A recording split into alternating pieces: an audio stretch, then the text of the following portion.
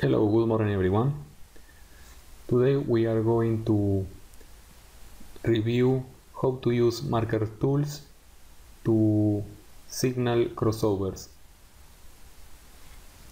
These crossovers can be used to paint entry signals and also to be used as filters. For example, on the right chart, these arrows are painted when these two red lines crosses one each other. On the left chart, these dots are painted when the stochastic red line crosses the overbought from the top or the overbought the oversold from the bottom.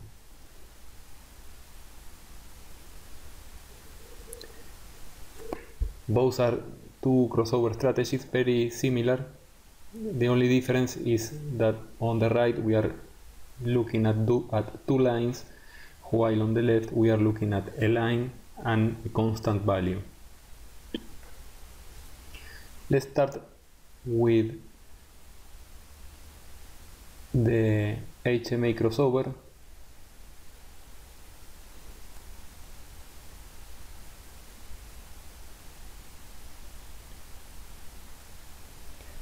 These two lines are an HMA of 34 and an HMA of 36 but let's start from the beginning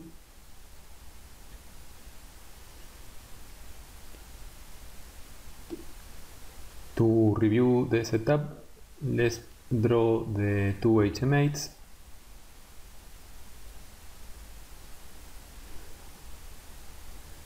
And we want to paint signals when there is a crossover between each one. For that we use the copy indicator and we start with the HMA 34 we assign a name for example HMA 34 and then we do the same with the other line. Use the copy indicator select the in the input indicator HMA 36 and we get two lines at the bottom.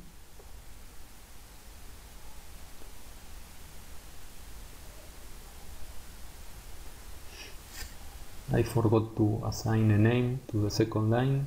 Let's use HMA 36 we can use a different color for the faster. I will use a red line.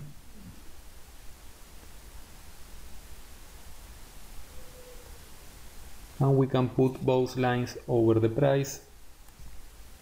We can select the same panel or we can also move the line with the mouse. So now we have the two lines copied so we only need to use the crossover indicator where we select the names of the two lines that we want to check. The the names that we used are HMA 34 and 36 so we type the name of the lines the result is the difference between HMA 34 minus HMA 36. Let's assign this name. And we get this histogram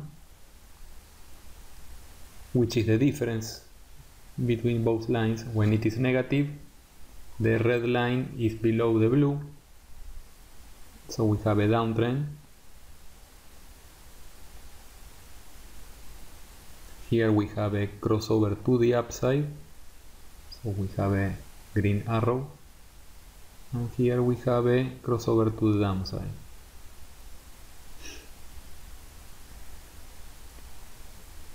So that's all. Now we have the crossover signals ready.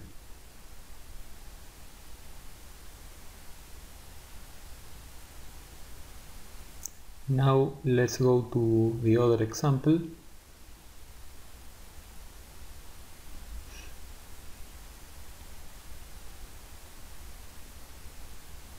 On this setup we use uh, stochastic. We only use the I am only using the key line. So I can make the, the line transparent so we need to copy the key line of the stochastic and the overbought and oversold levels. We start with the copy indicator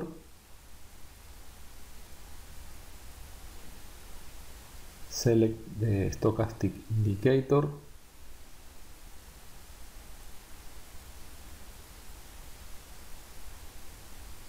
with the settings I am using 273 and we select the correct plot. I am using the key line. Assign a name for example line key.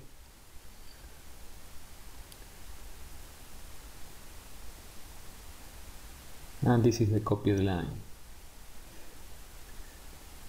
Now we only need the overbought and oversold levels. As these numbers are not lines, we need to use the constant indicator. We assign the name SC for uh, overs, over vote sobrecompra in Spanish and the another level sobreventa oversold we don't get nothing painted on the chart.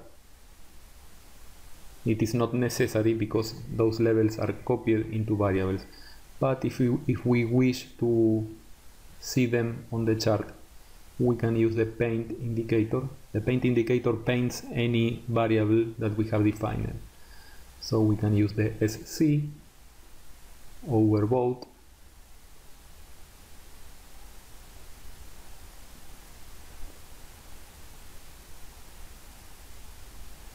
let's place it on the same panel of the copied stochastic. And now we do the same with the um, oversold. SB or sobreventa. Over the panel number 3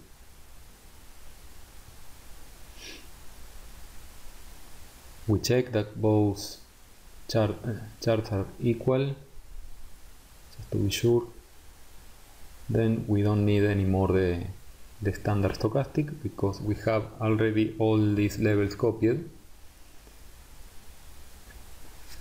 And now we can use the crossover indicator to check the cross of the key line against the overbought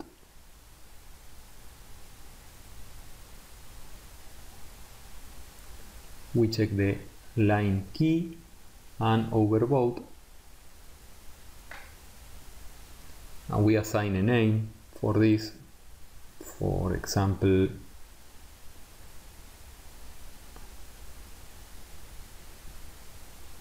venta or sell in English.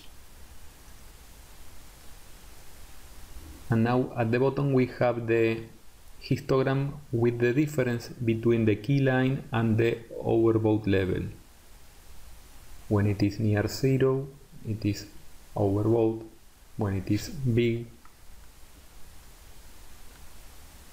we are only interested in the crosses to the downside. So we can remove the up paint, so we only get the red arrows. And now we need to do the same with the crosses of the key line against the oversold.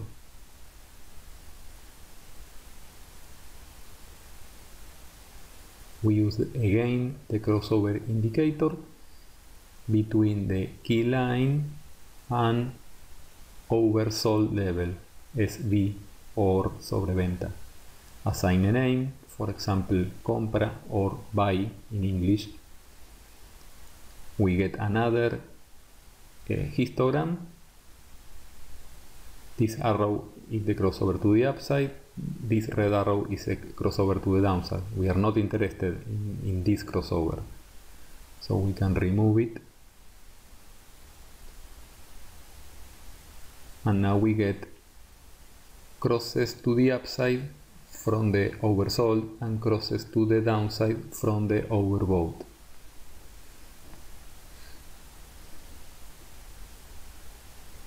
To save space we can put both histograms together and we are done, we are ready to trade the signals.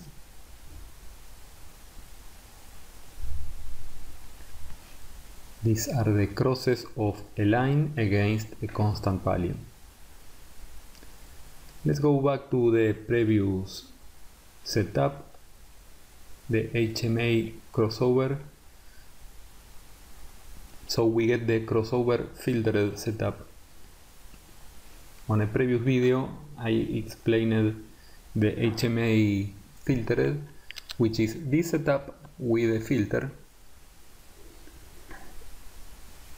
For the filter I am using a, a median line which is the middle line of a Donchian channel. The Donchian channel has three lines and the mean line is the line we are using as reference. This black dotted line is the line that I am going to use so we take longs above, shorts below.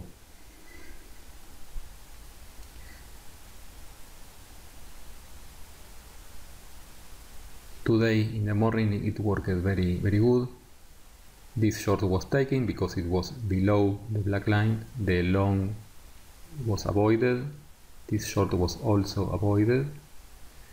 The long was taken, short avoided, long taken. Now, how can we do this filter? So the, the first we need is to copy the black line. For that we use the copy indicator and we need to copy the median line of the Donchian. So we select the Donchian. I am using 50 bars and we select the correct mean line of the Donchian. Let's use black uh, black color.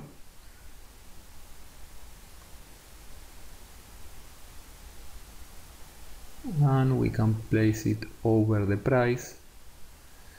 And we can remove the Donchian now because we don't need it.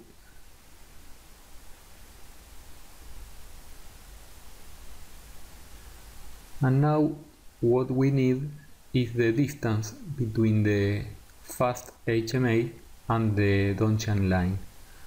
So we use again the um, crossover indicator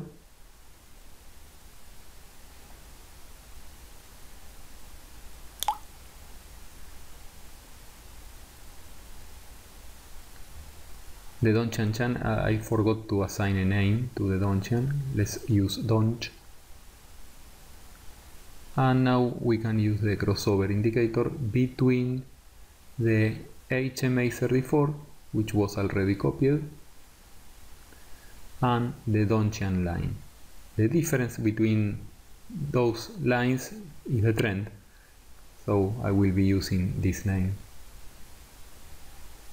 I don't want to paint crossovers between those lines only interested on the histogram.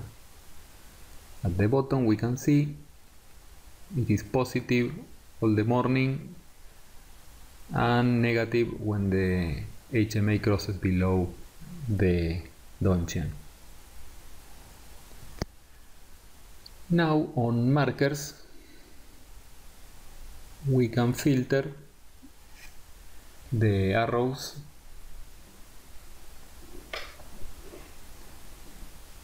we need to configure arrow in color green and arrow in color uh, on the crossover indicator we can select the colors. So I will use red red arrows and green arrows so now this is a red arrow and these are green arrows so now on markers we have green arrows for longs, red arrows for short, but filtered, we enable the filter using the variable trend.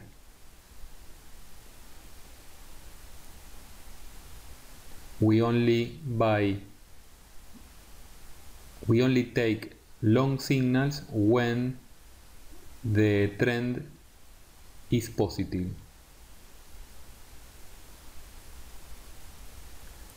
So for long we set trend with a minimum value of 0, so it must be positive, and shorts when trend has a maximum value of 0, so it is negative.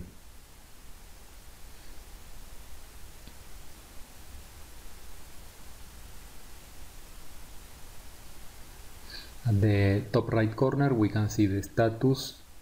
It only works on live. Currently I am not connected. But currently we we are on long mode. The histogram is on green mode so we are trending to the upside. So this red arrow should be avoided because we are only on long mode. Okay hope this has been useful for you. If you have any question please post it below this video. Thank you everyone. Bye bye.